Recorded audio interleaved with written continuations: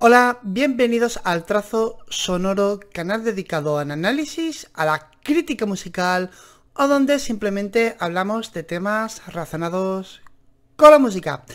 Bueno, de nuevo tengo que hablar de un artista, de un músico que no hace mucho, diría cosas de un mes y medio así, pues hice una especie de análisis o recomendación de su último trabajo hasta aquel entonces. El álbum en cuestión era The Usual Pass The Moon Space God, un álbum alucinante, increíble, que hoy por hoy sigo escuchando casi a diario. Y el artista en cuestión es Jason Albertini, o más conocido en cierta forma como el ex batería de la banda Duster, o también bajo el sobrenombre de El Betia.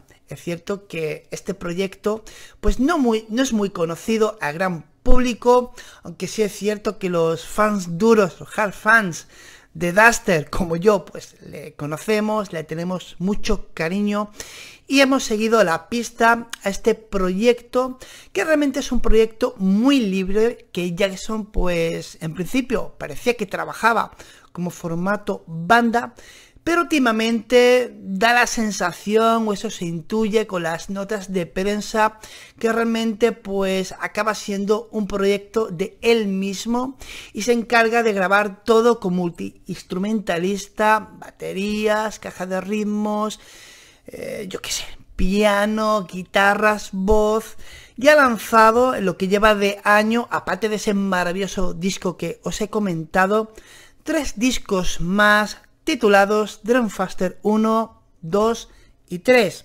Es cierto que estos tres discos pues son un poquito más difícil al oído que digamos el disco de You Should Pass the Moon Escape God.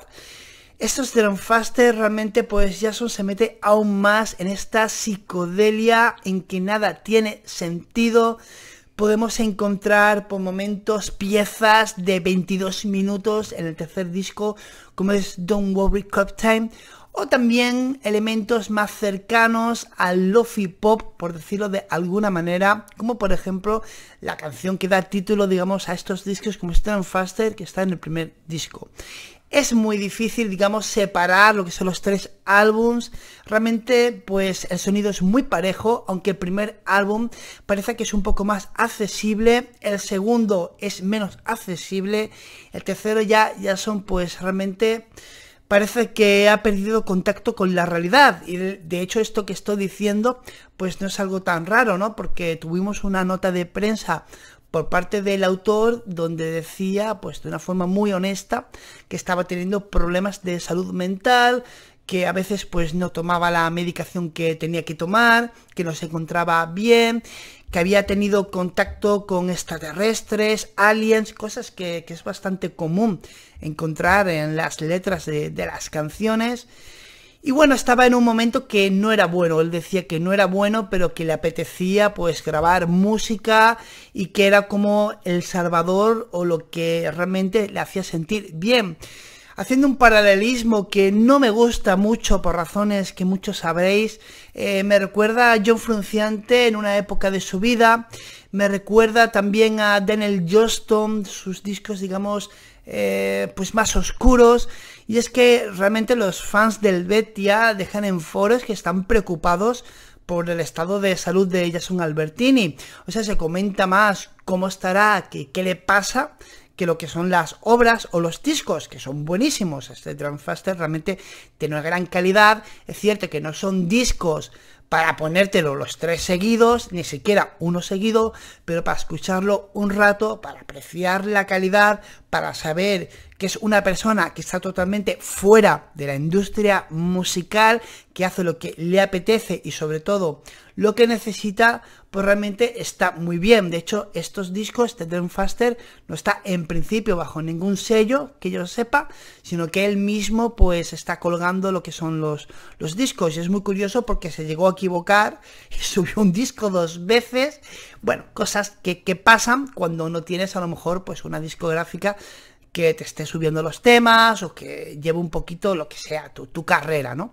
Realmente son tres discos que me han gustado mucho, muy disfrutable, estoy muy enganchado, tengo que decir.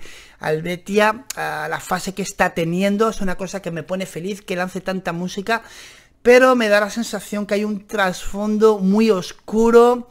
esperemos que no, que simplemente que está en un momento de inspiración, pero veremos hacia dónde lleva todo esto. Realmente Jason Albertini, con lo que llevamos de año, para mí eh, está siendo una de las personas más interesantes a nivel musical y es por ello que lo traigo aquí al canal. Eh, sé que es un vídeo que no tendrá muchas reproducciones, sé que es un vídeo, o un disco mejor dicho, ¿no? Que es más importante la música que mi vídeo, por favor.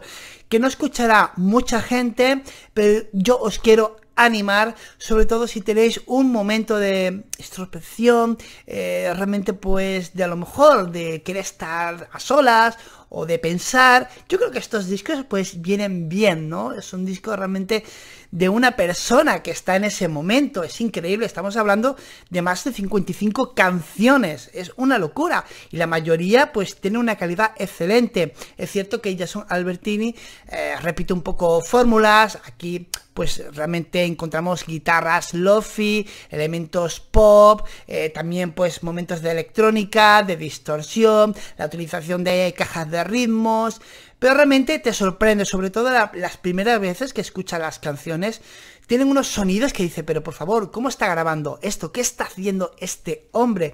Y yo creo que al fin y al cabo lo más bonito de la música es que te sorprenda. Y realmente estamos ante tres discos que no es común que es difícil encontrar un artista que realmente pues que haga tantas canciones y de tanta calidad y es por eso que quiero apoyar y decir que por favor escuchéis digamos lo que es el Betia y sobre todo esta fase que está teniendo a nivel musical, a nivel personal, no lo sé, Jason Albertini.